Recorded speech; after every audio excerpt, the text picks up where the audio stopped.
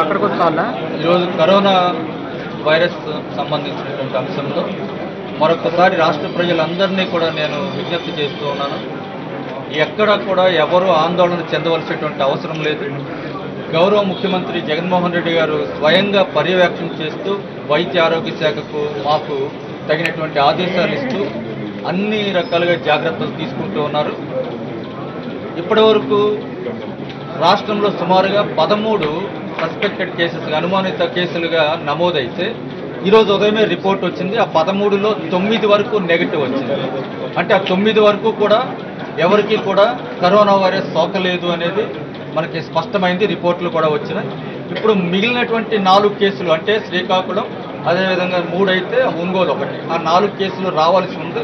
అది ఏ సాయంత్రానికి ఆ రిపోర్ట్ వస్తుంది. అవి కూడా నెగిటివ్ రిపోర్టే వస్తుందన్న ఆశ ఉంది మాకు మాకున్నటువంటి సమాచారం ప్రకారం. అయినా స్పష్టంగా మనకు తెలియాలంటే సాయంత్రం వరకు అయితే మిగిలినటువంటి నాలుగు కేసులు అంటే పదమూడు కేసులు రాష్ట్రంలో నమోదైతే తొమ్మిది కేసుల్లో నెగిటివ్ రిపోర్ట్. ఎక్కడ వారికి వైరస్ సోకలేదని హాస్పిటల్లో ఇప్పటికే అడ్మిట్ అయినటువంటి ఆ పేషెంట్లకు సంబంధించి స్పష్టమైనటువంటి రిపోర్ట్లు వచ్చినాయి. మిగిలినవి కూడా సాయంత్రానికి వస్తుంది కాబట్టి మేము మళ్ళీ మళ్ళీ విజ్ఞప్తి చేస్తూ ఉన్నాం. ప్రజలకు సంబంధించి కరోనా వైరస్ సోకేటువంటి అవకాశం వారు కనుక వ్యక్తిగత పరిశుభ్రత పాటిస్తే ఎవరికీ కూడా అవకాశం ఉండదు.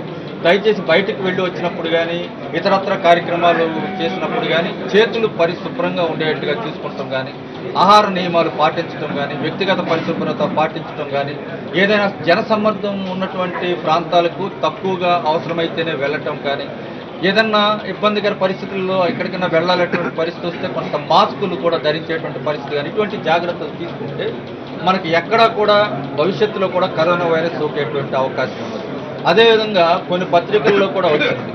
ఈ మాస్కుల విషయంలో కానివ్వండి లేకపోతే ఆ డ్రెస్ విషయంలో కానివ్వండి పీపీఈ అంటారు దాన్ని ఆ డ్రెస్ని ఇటువంటి అంశాల్లో ఎక్కడో బ్లాక్ మార్కెటింగ్ జరుగుతూ ఉందని తగినటువంటి ఆదేశాలు మా మేము ఇన్ఛార్జ్ డీజీ డ్రగ్స్ గారికి ఇవ్వటం జరిగింది నిన్ననే.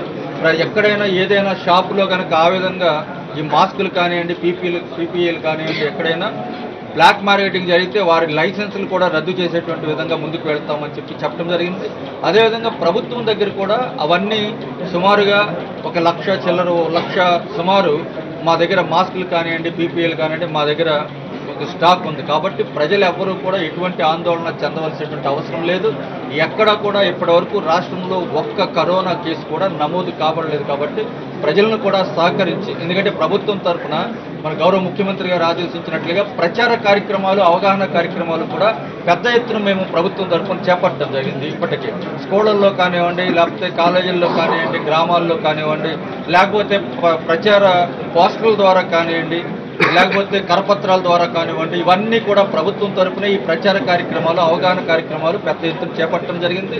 ఇప్పటివరకు ఒక్క కేసు కూడా నమోదు కాకపోయినా కూడా అన్ని ప్రాంతాల్లోనూ కూడా అన్ని ప్రభుత్వ ఆసుపత్రుల్లోనూ కూడా కొన్ని ప్రాంతాల్లో ఇప్పటికే మేము ఐసోలేషన్ వార్డ్స్ కూడా పెట్టడం జరిగింది. ఐసోలేషన్ వార్డ్స్ మాత్రమే కాకుండా ఎక్కడైనా కరోనా కేసు నమోదు అవుతుందేమో అన్న ఆలోచనతో ముందస్తు జాగ్రత్తతో కరోనాకు సంబంధించి వార్డ్స్ కాకుండా రూమ్స్ కూడా ఐసోలేషన్ రూమ్స్ కూడా మేము కొన్ని చోట్ల ఏర్పాటు చేయడం జరిగింది.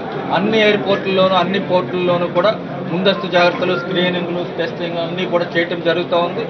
ప్రభుత్వం తరఫున పూర్తిగా సిద్ధంగా ఉంది. కరోనా వ్యాధి మన రాష్ట్రంలో రాకుండా వైరస్ ఎవరికి రాకుండా ఉండటానికి అన్ని రకాలైన జాగ్రత్తలు తీసుకుంటాం మాత్రమే కాకుండా అనివార్య కారణాల వల్ల ఎక్కడైనా వైరస్ ఎవరికైనా సోకినా కూడా తక్షణమే చర్యలు చేపట్టి అటువంటి బాధితులకు తక్షణ తక్షణం వైద్య సౌకర్యం అందేలా చూడటమే కాకుండా ఇంకా ఇతరులకు ఆ వ్యాధి సోకే అవకాశం లేకుండా కూడా అన్ని జాగ్రత్తలు కూడా ప్రభుత్వం మన గౌరవ ముఖ్యమంత్రి గారి ఆదేశాల మేరకు అన్ని చర్యలు కూడా తీసుకుంటుంది.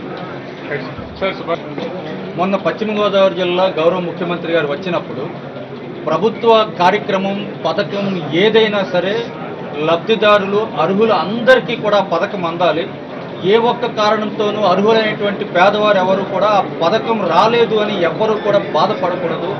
ఆ విధంగా చర్యలు తీసుకోండి పశ్చిమ గోదావరి జిల్లాలో అని గౌరవ కలెక్టర్ గారికి మా గౌరవ ముఖ్యమంత్రి గారు ఆదేశాలు ఇవ్వడం జరిగింది. దానికి అనుగుణంగానే మన విద్యాశాఖ ఆధ్వర్యంలో ఒక స్పందన కార్యక్రమం.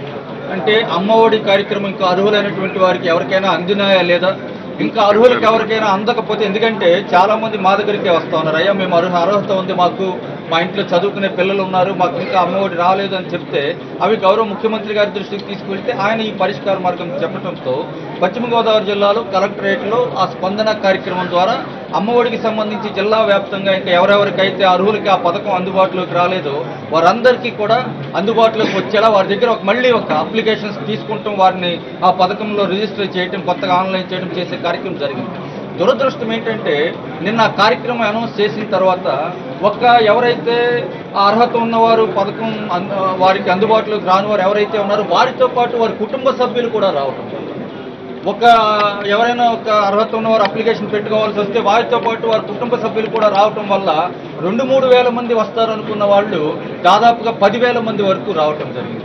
అయినా సరే ఎక్కడ చిన్న చిన్న ఇబ్బందులు తప్ప ఒక్కసారి కలెక్టరేట్కి అంతమంది వచ్చినా కూడా అధికారులు చాలా సమర్థవంతంగా చిన్న చిన్న సంఘటనలు అవన్నీ కూడా జరిగితే జరిగి ఉండొచ్చు కానీ ఎక్కడా కూడా అంతమంది ఎవరు ఊహించకుండా అంటే ఎవరైతే పథకం ద్వారా లబ్ధి పొందలేదో వారితో పాటు పెద్ద ఎత్తున వారి కుటుంబ సభ్యులు కూడా రావడం వల్ల కొన్ని చిన్న చా- చిన్న చిన్న సంఘటనలు జరిగిన మాట వాస్తవం. అయినా భవిష్యత్తులో కూడా ఇది కూడా ముందుగా ఉంచి భవిష్యత్తులో కూడా ఇటువంటి సంఘ ఈ చిన్న చిన్న సంఘటనలు కూడా జరగకుండా తగిన జాగ్రత్తలు తీసుకోమని ఆయన మాకు నుంచి ముఖ్యమంత్రి గారి కార్యాలయం నుంచి కూడా ఆదేశాలు వచ్చినాయి. భవిష్యత్తులో కూడా ఇటువంటి కార్యక్రమాలు ఈ చిన్న సంఘటనలు కూడా జరగకుండా